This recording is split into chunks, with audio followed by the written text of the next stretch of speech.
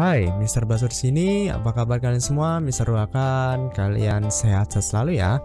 Nah, hari ini kita akan mempelajari tentang ICT ya, yaitu Microsoft Paint Introduction ya. Kita akan berkenalan dengan Microsoft Point, eh Microsoft Paint ya. Nah, kita buka dulu ya Microsoft Paint-nya. Pertama, klik Start yang di bawah nih, di ujung bawah ini. Nih, yang di sini ya. Nih, di sini Start. Kemudian uh, kalian ketik saja Paint. Nah, nanti akan muncul seperti itu ya. Nih, Paint ya. Lalu kalian klik Microsoft Paint yang ini. Klik open. Klik. Nah, kalian akan uh, seperti ini ya hasilnya. Jika kalian sudah membuka Microsoft Paint dengan benar. Nah, di layar kalian ini adalah Microsoft Paint ya. Nah, Mister akan jelaskan masing-masing uh, dari fungsi dari menu-menu fitur yang ada di Microsoft Paint ya. Nih, yang pertama uh, ada clipboard ya. Nih di sini clipboard, sini berfungsi untuk copy dan paste. Kemudian di sini ada select, ada resize, ada rotate ya, ada select ya. Kemudian di sini ada toolsnya. Nah di sini ada toolsnya seperti uh, pencil, nih pencil. Kemudian ada uh, bucket ini nanti untuk uh, kita apa namanya uh, coloring, fill the color. Kemudian ada ini huruf A ini adalah text ya. Jadi kalian kalau mau uh, tulis nama atau tulis title menggunakan A ini ya, yang ikonnya A.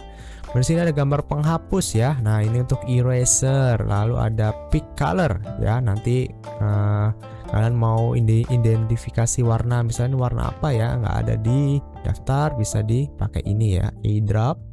Kemudian ada zoom atau magnifier. Nah, ini tujuannya untuk zoom dan zoom, zoom in dan zoom out. Oke. Kemudian ada lagi, ini ada brush ya. Nih brushnya ada banyak. Ini bisa dilihat ya. Nah, ada brushnya ada banyak ya.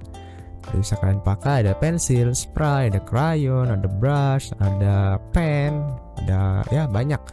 Kemudian ini ada shape ya. Nih ada banyak sekali shape di sini ya. Nah, nanti ada line, ada wave, ada oval, ada rectangle dan macam-macam ya sih banyak sekali.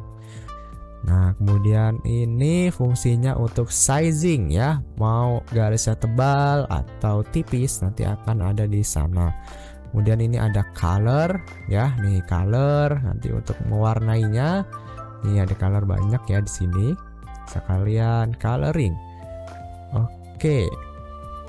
Nah, untuk introduction kali ini kita akan menggunakan ini ya, shape dan color ya.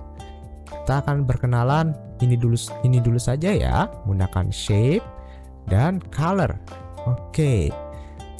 paham ya nah jadi pertama nih kalian uh, Mister mau kalian gambar bintang nih klik bintangnya nih klik bintangnya oke. Kemudian kamu gambar seperti ini nah kalian tekan dan tarik tuh ya nah Coba ganti lagi apa ya? Misalnya love. Nih ada love ada di bawah, klik ini drop down ya. Nah, klik love-nya. Nah, coba ya. Dipraktekan. Nah, coba shape nih arah panah. Tuh ya, arah panah kiri, ini kanan. Lalu ada apalagi down, ada ini apa? Belah ketupat ya Nah, kalian arahkan ya menggunakan mouse nih ada triangle. Nah, banyak sekali shape-shape ya. Bisa kalian uh, praktekkan. Nah, coba ini ada garis. Nah, ini garis misalnya garis lurus. Lalu ini ada garis wave. Nah, seperti ini wave. Tuh ya. Mudah sekali ya mengoperasikannya. Nah, sekarang kita warnai. Nah, untuk mewarnainya kita menggunakan bucket ini ya, yang simbol bucket ini ya. Coba kalian klik bucketnya. Nah, lalu kalian pilih warnanya. Nih, warna bintang. No, jadi warna hitam ya. Nah, kalian maunya warna kuning misalnya. Untuk bintangnya kalian klik aja color yang ada di sini ya. Nih, hingga color satunya terganti seperti itu ya. Nah, coba kalian bisa warna kuning nih udah bisa pilih warna kuning. Nah, jadi warna kuning seperti ini, ini juga kuning. Oke ya. Lalu misalnya ini warna kuning, boleh ya. Nah, kalian pilih warnanya. Nah, pink. Nah. Nah, kalian pilih warnanya. Tuh, kalian select satu persatu. Nah, ya, bisa ya mudah sekali loh ya. Nah, terus seperti ini. Nah, kalian nggak mau warna ini, maunya warna yang lain bisa nggak bisa bisa nih di edit color ya. Nih di sini tinggal kalian pilih. Kalian pilih. Nah, ada banyak sekali nih warna nih, ada spektrumnya. Nah, ini namanya spektrum ya, spektrum color. Oke. Nah, jadi kalian tinggal pilih warnanya. Misalnya mau warna klik ini, lalu warna misalnya di sini nggak ada warna uh, ini. Lalu klik OK add custom color. Lalu OK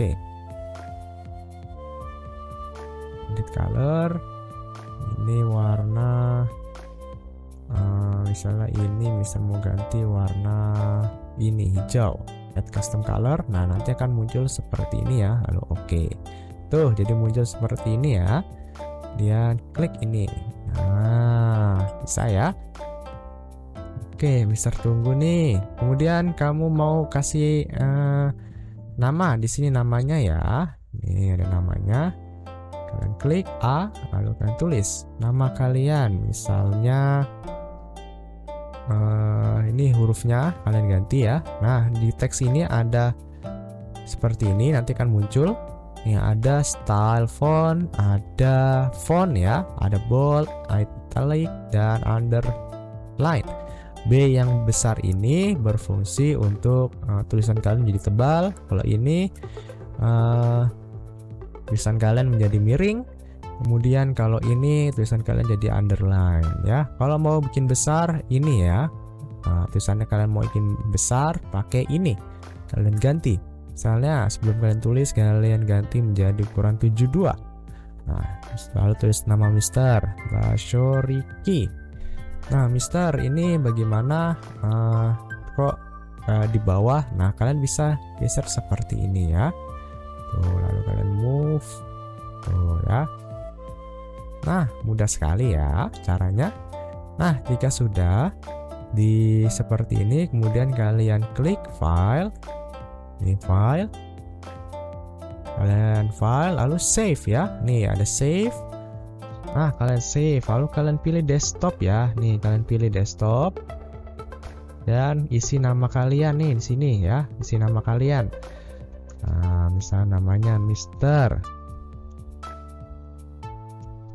Mashoriki lalu save ya Nah, nanti akan muncul di sini. Nah, di desktop kalian ya. Oh, ini file kalian. Dan file ini nanti kalian kirim ya ke Google Form yang sudah disediakan. Nih tinggal di close saja ya. Tinggal di close. Nih, bisa buka ya. Nah, ini gambar kalian yang tadi sudah dibuat ya. Tuh, ya. Nah, ini juga kalian bisa gunakan menjadi uh, desktop kalian, misalnya nih. Atau oke, okay, setelah kalian buat, kalian kirim ke Google Form ya. Nah, buka uh, Google Class kalian masing-masing. Di sini Mister contohnya menggunakan primary one ya. Ini berlaku untuk primary 2, primary 3 dan primary 4 yang lower class ya. Nah, kalian klik nih Google Form upload tugas. Nah, di information center kalian lihat ada Google Form upload tugas, kalian klik nanti akan uh, seperti ini tampilannya sekali lagi ya. Nih, kalian kunjungi ini, kalian kunjungi information center. Nih, saya ulangi ya. Nah, kalian klik Google Upload. Kalian cari ya di Information Center ada Google Form to uh, Google Form upload tugas. Lalu kalian klik nanti ada link ya di sini nih. Silakan klik link di bawah ini untuk upload tugas nih. Diklik link ini kemudian akan muncul seperti ini. Nah, kalian isi nama kalian ya di sini. Nah, bisa contohkan misalnya nah, ini ada contohnya ya. Contohnya Merlin week 8. Kalian tulis misalnya Basyoriki nama kalian ya. Week 2 misalnya gitu ya. Lalu tambahkan filenya ya mau diupload tadi gambarnya di sini. Upload file kemudian klik pilih file dari perangkat Anda ya. Klik Nah, lalu kalian pilih desktop, tadi tempatnya yang kalian save ya. Kalau di desktop di desktop, kalau di dokumen di dokumen ya, atau di picture. Ya, tergantung kalian save-nya. Kalau misal tadi save-nya ada di uh, desktop ini ya. Kemudian kalian cari nih tadi nih Bashoriki yang tadi ya. Nih, yang tadi Mister Gambar ya.